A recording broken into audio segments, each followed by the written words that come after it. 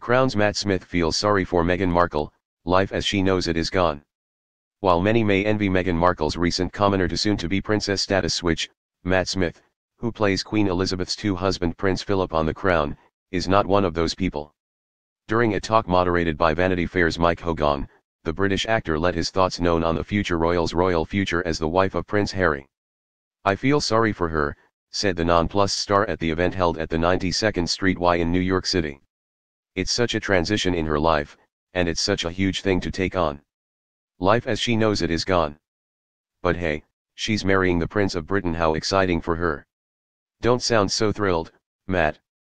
Meanwhile, the show's current star, Claire Foy, who was also at the talk, had a more hopeful view of life for Prince Harry's fiancée.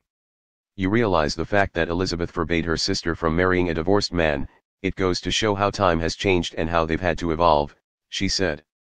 And they really have.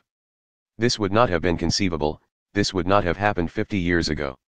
And I think that's why the monarchy will survive, and thrive, because it's willing to change and listen to the people and realize that some elements of the institution are outdated and unnecessary.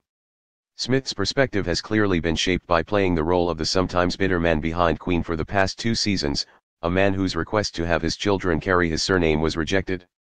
In the biography Elizabeth the Queen by Sally Bedell Smith, Philip, who has been married to the Queen for 70 years, is believed to have famously said, I am the only man in the country not allowed to give his name to his children. He added, I'm nothing but a bloody amoeba. Smith is all too aware of what the sacrifices one must make to marry into the monarchy. After the engagement news, Meghan